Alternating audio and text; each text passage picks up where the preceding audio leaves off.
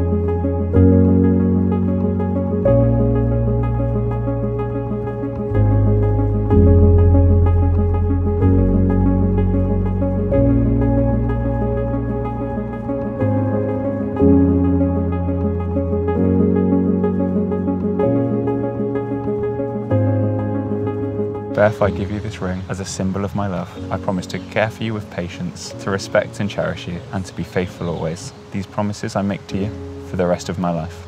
Josh, I give you this ring as a symbol of my love, and I promise to care for you with love and friendship, to support and comfort you, and to be faithful always. These promises I make to you for the rest of my life.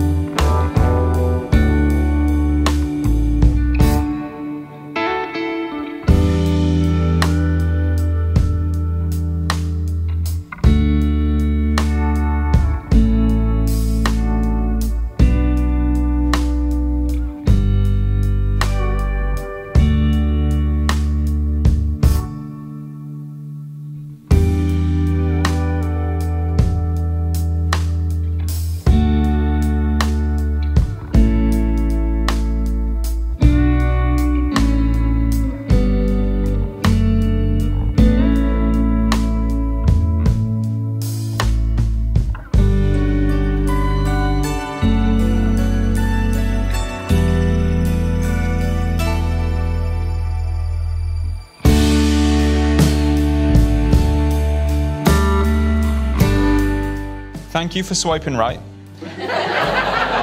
Thank you for meeting me at the Tawny Owl. Thank you for moving in with me. Thank you for putting up with me throughout lockdown. And thank you for marrying me. I look over at you, Beth, and I am once again in total awe of who you have grown into being. Beth, if you don't know, you are simply amazing in my book and always will be. Josh has the biggest heart, and his dedication and his commitment to anything he puts his mind to is truly awe inspiring. I love how you're willing to try anything and no matter what obstacle, you'll give it 100%. I love you with all of my heart.